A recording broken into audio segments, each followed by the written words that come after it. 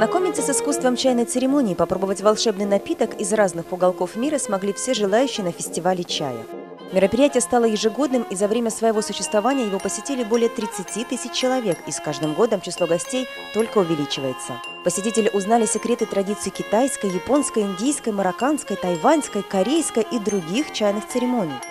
Все желающие могли продегустировать этот напиток и насладиться развлекательной программой. Международный фестиваль чая уже в шестой раз проводится на Вышеграде в Праге. Гости фестиваля могут познакомиться с традициями и культурой разных стран. Но наиболее пристальное внимание всегда привлекала русская чайная церемония. В этом году она организована компанией «Ювасет». Все как положено. Самовар, баранки, варенье. Компания «Ювасет» подготовила красивый ритуал чаепития. Специально для чайного фестиваля была привезена старинная посуда и черный чай, чтобы публика имела возможность прикоснуться с удивительным миром русского гостеприимства и радушия. Компания «Ювасет» занимается э, разными мероприятиями, создание разных фестивалей, э, балов. Эм, мы хотим, чтобы э, русская культура приблизилась, приблизилась к чехам, чешской культуре, и наоборот, приблизить русскоговорящим чешскую культуру.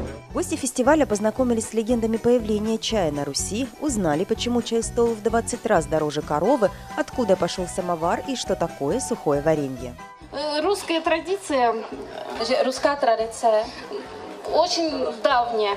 Она пришла в Россию в 1616 году. Издавна на Руси чай считался напитком богатых. Он покупался за меха и золото и хранился в специальных серебряных сундучках у хозяек дома, а ключ от сундучка висел у нее на шее. И только она могла угощать гостей этим напитком, причем чем крепче был чай, тем богаче считались владельцы дома. Позже, когда чай стал доступнее, он стал непременным атрибутом гостеприимства. Женихи, желающие засватать девицу, обязательно должны были принести ее родителям мешочек с чаем и кусковой сахар.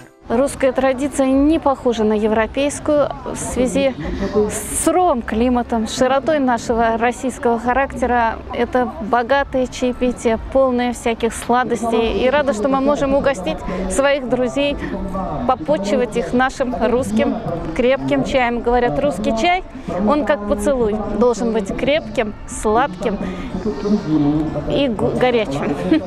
Все желающие могли не просто познакомиться с историей русского чаепития, но и попробовать исконные лакомства – мед, баранки, варенье, пироги и блины. Дегустация особенно запомнилась гостям фестиваля.